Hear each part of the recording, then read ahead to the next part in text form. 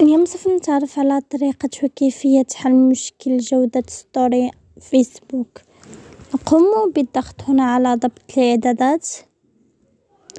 من ثم سوف نقوم بالضغط هنا على تطبيقات. بعدها سوف نقوم بنزول إلى الأسفل والضغط هنا على فيسبوك. خاص بكم. من ثم سوف نقوم بالضغط هنا على إيقاف الإجباري.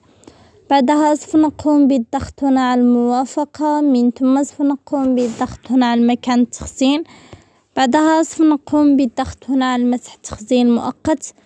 من ثم سوف نقوم بإيقاف إعادة تشغيل واي فاي خاص بكم. بعدها سوف نقوم بالذهاب عفوا بالذهاب إلى متجر جوجل. هنا سوف نقوم بالبحث عن فيسبوك خاص بكم. سوف يظهرنا على هذا الشكل.